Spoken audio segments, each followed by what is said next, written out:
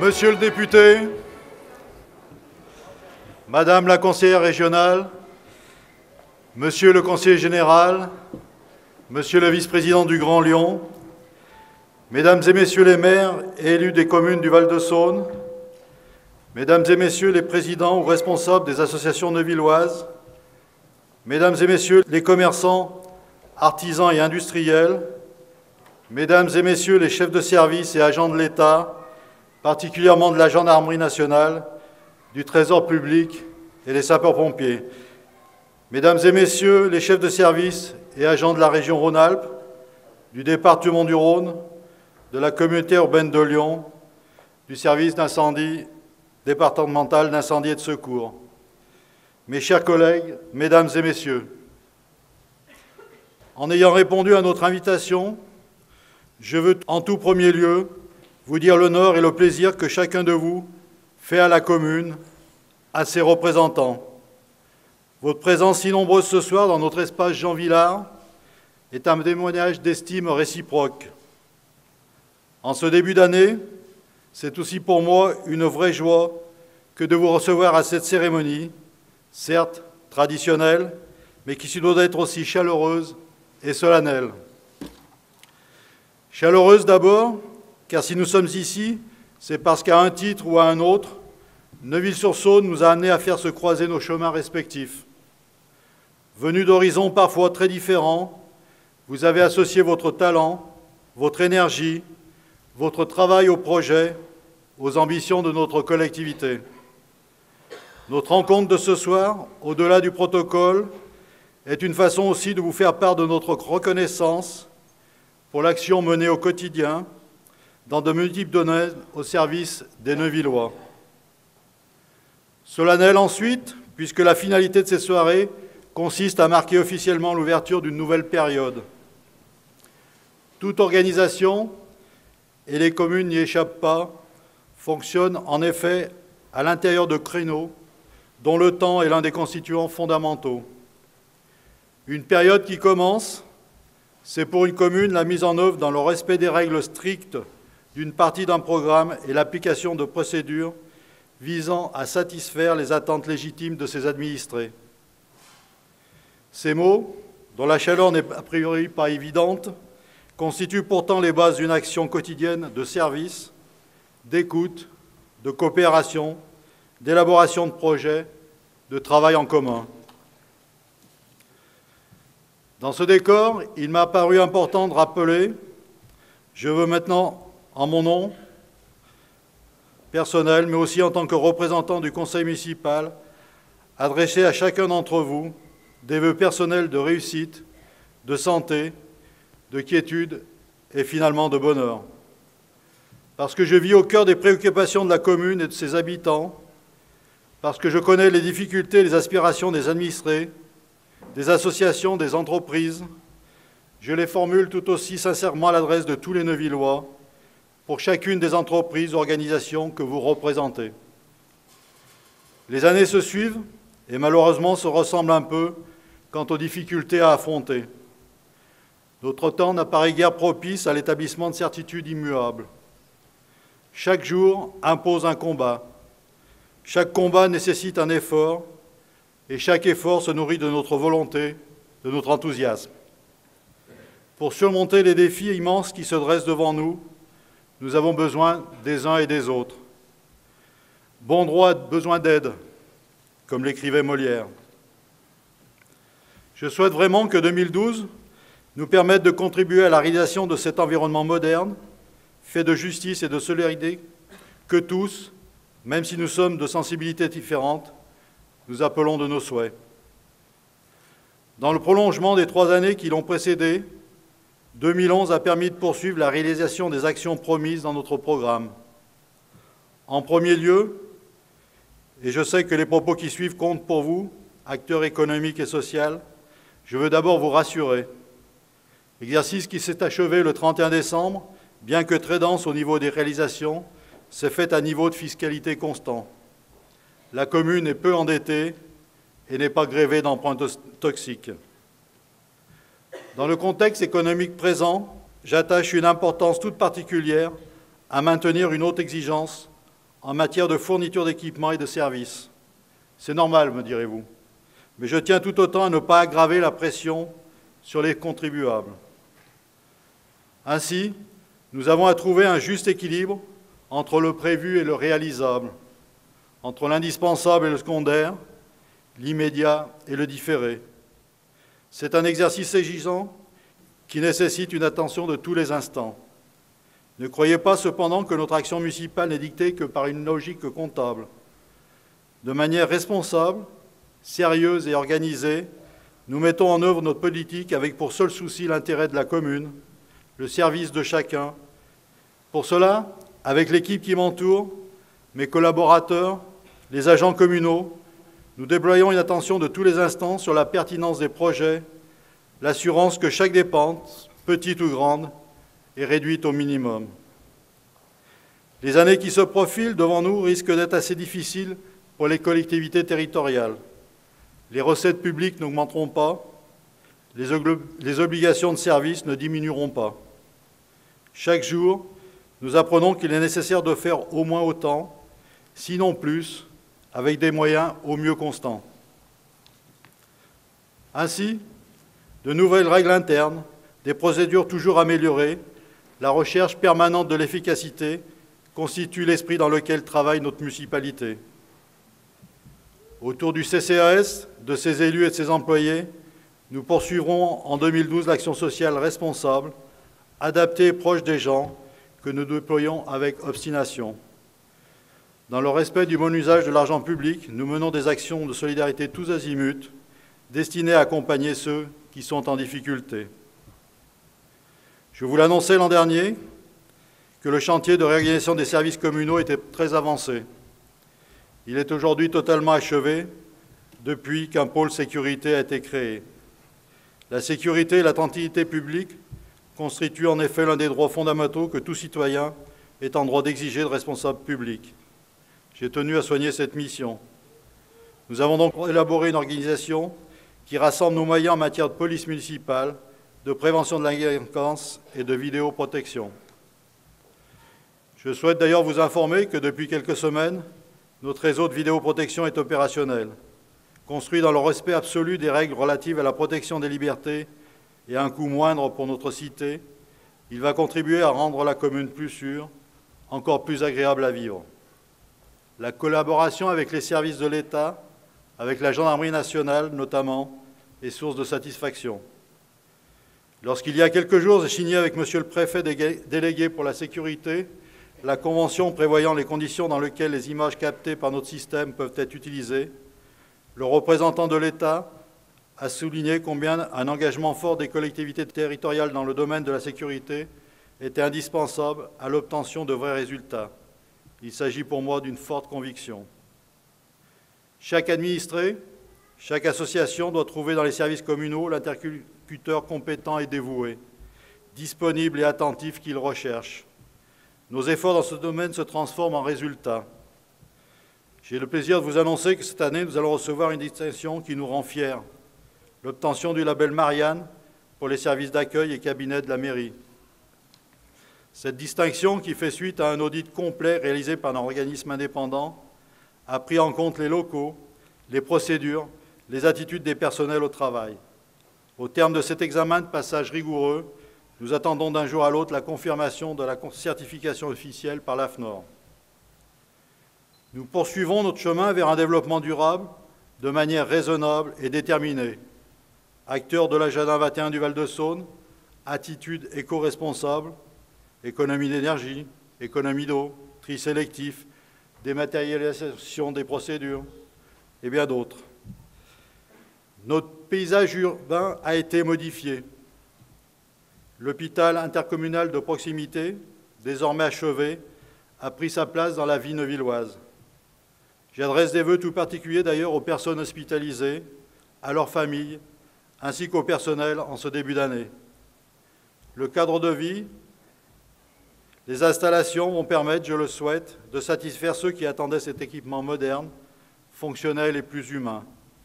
Nous suivons évidemment avec attention et intérêt le devenir de l'ancien site. Le contournement est de Neuville, depuis le chemin du Gorja jusqu'à la rue Paulet, via l'avenue de l'Europe et le chemin des frères voisins, dont on parle depuis de nombreuses années, avance régulièrement pour sa première tranche entre le nouvel hôpital et le lycée Rosa Parks.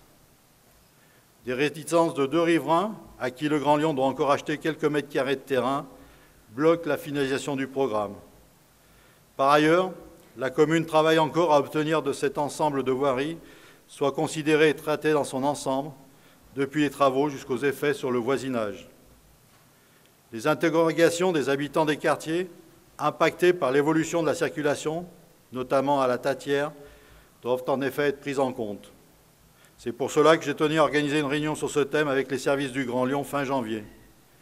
Nous avons à trouver ici également un compromis acceptable entre intérêt général légitime et les illégitimes attentes des administrés. La commune finance 50% de la navette S14 intégrée au réseau Atoubus des TCL. Elle dessert depuis la rentrée 2011 l'hôpital, mais aussi les quartiers les plus éloignés du centre, excepté pour des raisons réglementaires celui de l'écho, pour lequel d'autres solutions sont à l'étude. La ville assure aussi la gratuité d'accès à ce service de transport public pour tous les Neuvillois. Après une première année de fonctionnement, des réglages seront étudiés avec le Citral. Dans le même temps, le Grand Lyon achève la mise aux normes de la station d'épuration Neuville-Florieux et des collecteurs d'assainissement. La réalisation de ces grands travaux structurants a certes perturbé un peu nos habitudes, un effort important et une réactivité des entreprises et des services ont permis de limiter au maximum l'impact sur le quotidien des Neuvillois. Le 10 juin dernier, à l'occasion du tournoi international, nous avons inauguré le nouveau terrain de football synthétique. Cet équipement est attendu des footballeurs et des scolaires. Il améliore de manière considérable la pratique du plus, populaire des sports. Utilisé tous les jours, cet investissement reste supportable par la commune en raison de l'obtention d'aides diverses pour plus de 50% du coût total, c'est-à-dire 350 000 euros de subvention. L'activité économique, qui crée l'emploi et fait vivre les communes, constitue aussi un thème prioritaire de réflexion et d'action, surtout en période de crise. À Neuville, nous avons fait le choix de travailler notamment à partir du centre-ville sur le maintien et le développement du commerce et de l'artisanat. Mais nous sommes aussi très sensibles au développement industriel, en particulier de la zone dite en Champagne. Le label Tosema niveau 2, distinction européenne, place Neuville-sur-Saône à la pointe quant aux initiatives en matière de défense du commerce de centre-ville. Première et unique ville européenne à ce niveau. La préservation de l'une des caractéristiques typiques de notre commune trouvent ainsi dans une alliance forte de partenariats publics-privés, tous motivés, une base institutionnelle. Il y aurait encore beaucoup à dire parce que beaucoup a été fait. Le mérite est à partager d'ailleurs avec tous ceux qui sont associés au destin de cette ville. Nos publications, notre site, nos outils de communication ont été faits pour que vous puissiez connaître en toute transparence l'intégralité des actions réalisées. Je vous exprime donc très officiellement à vous tous, décideurs, acteurs de terrain, commerçants, responsables d'associations, agents des services publics, mes plus sincères remerciements. 2012 verra se poursuivre dans le même esprit celui de responsabilité et d'ambition au service du bien vivre et du bien-être des Vauvillois, la réalisation des objectifs sur lesquels nous nous sommes engagés. Le parc d'Ombreval, après une longue période de travaux, va s'achever. Respectueux du site et de l'histoire, le programme va se clore par l'installation de jeux pour enfants, d'espaces pour adultes. Ainsi, dès la fin du printemps, cet espace magnifique, situé au corps d'un cadre que beaucoup nous envient, va s'offrir comme lieu de détente et d'agrément pour les familles, les seniors, les jeunes, notamment les lycéens et les tout-petits. Dans quelques jours, dans ce bâtiment, commencera la réalisation d'un aménagement permettant à notre espace Jean Villard de compter aussi une salle des familles. Cet équipement moderne, attendu, permettra aux Neuvillois d'organiser dans leur commune des événements familiaux tels qu'anniversaires, mariages, baptêmes, etc. La médiathèque, je le rappelle, totalement gratuite pour les habitants et les élèves de la commune, va accueillir prochainement un nouvel espace numérique gratuit permettant l'accès aux activités multimédia et à l'information. Nous savons combien l'environnement immédiat est important pour le bien-être dans une ville. Des aménagements de proximité permettant la pratique loisir, mais aussi le renforcement de la sécurité, vont compléter les réalisations mises en œuvre cette année. Tous les abords des écoles publiques ont été sécurisés. Je souhaite dire également quelques mots sur un chantier un peu particulier, très sensible, la restauration de notre monument aux morts. Pour des raisons de sécurité, il devenait indispensable d'envisager des travaux sur ce mémorial. Au terme d'une consultation dont l'engouement a été remarquable, une solution a été trouvée. Elle permet d'allier à la fois les exigences fortes de maintien d'un lien historique et l'obligation d'honorer l'ensemble des Neuvillois morts pour la France. Le poilu, bien dressé sur son socle, sera restauré et surplombera dignement des, des dalles de pierre grise, reprenant conflit par conflit chacun des Neuvillois décédés. 2012 verra enfin le début de la réhabilitation de l'ensemble de l'habitat collectif du 60 rue Réloras. En partenariat avec Aliad Habitat, la commune travaille depuis longtemps sur ce dossier qui trouve un terme dans le cadre de la politique de la ville. Immeubles, logements, espaces communs sont concernés par ces travaux d'importance qui permettront aux habitants de bénéficier de conditions de logement très nettement améliorées. Je veux cette année encore évoquer le devenir de l'immeuble du Vieux Château. Cet ensemble immobilier qui appartient à la commune, en conséquence notamment d'un legs fait par la famille Guimet, doit être cédé pour permettre, si les études de faisabilité en confirment le bien fondé, un réaménagement complet du quartier. Cette opération complexe et délicate avance lentement dans le respect du droit et de la mémoire. Elle s'inscrit aussi dans la perspective du choix du meilleur aménagement possible pour la commune. De même, des aménagements pourraient s'envisager dans le secteur de la poste. À partir de la vente prochaine du bâtiment de la sécurité sociale, la commune adoptera une attitude volontaire pour procéder à une recomposition urbaine de ce secteur. Des logements, un espace commercial, de nouvelles zones de stationnement, un nouveau bureau de poste devrait alors pouvoir s'envisager.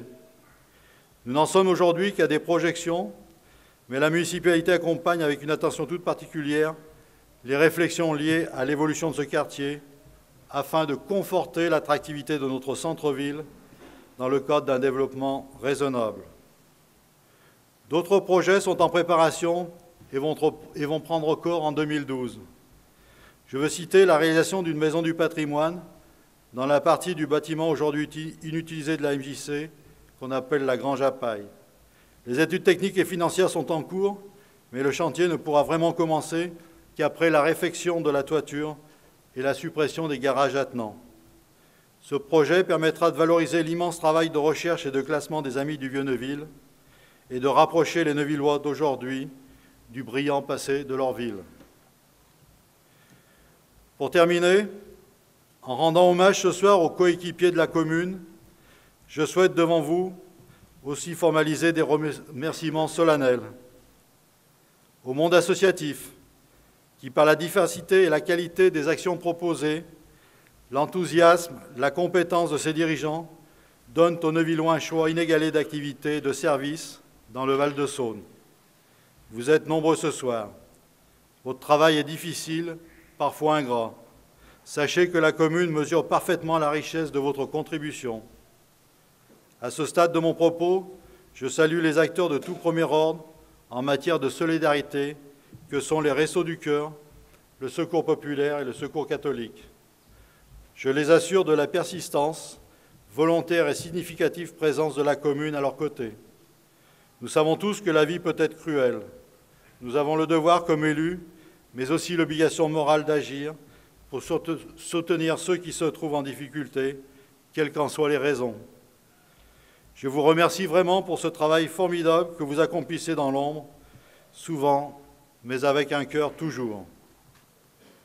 Il faut aussi honorer les partenaires de la commune, du fournisseur au grand service de l'État, de la commune voisine aux commerçants, de l'association au groupe d'habitants. Ensemble, nous créons une atmosphère que les citoyens apprécient dans leur quotidien. Remerciements aussi pour les pompiers, désormais installés dans leur centre de secours tout neuf, mais toujours bien présents dans le cœur des Neuvillois. Le Grand Lyon et ses multiples compétences, le département du Rhône tellement engagé dans une action sociale d'envergure. Et enfin, vous tous, sans exception. Je n'oublie pas évidemment dans mes remerciements ceux qui tous les jours avec moi réfléchissent et travaillent dur à mes côtés. Les huit adjoints, tous les jours sur la brèche, les conseillers municipaux majoritaires qui constituent un réservoir à idées, l'ensemble du conseil municipal et le membre de base de cette démocratie si précieuse. Quelques mots à présent qui dépassent le cadre de la commune. En 2012, 2012 est une année importante pour notre pays. Deux élections auront lieu avant l'été. Je souhaite que la conscience citoyenne amène les électeurs à se présenter nombreux dans les bureaux de vote pour accomplir le devoir et faire en toute conscience les choix qui leur paraissent les meilleurs pour notre pays. La bonne image de marque de notre commune, mais surtout la qualité de vie qu'elle offre, ne serait que concept sans l'implication, le travail, l'engagement de chacun d'entre vous. J'en suis persuadé que cette année qui commence nous permettre de continuer à regarder ensemble dans la même direction pour atteindre les objectifs d'intérêt général que nous nous sommes fixés. Mesdames, Messieurs, à chacun d'entre vous, pour vos familles, vos proches, pour les organisations que vous représentez, je renouvelle mes meilleurs voeux de prospérité, de santé, de paix et de bonheur pour 2012. Ayons la force de croire en nos rêves et donnons le meilleur de nous-mêmes pour construire ensemble le futur. Je vous remercie de votre attention.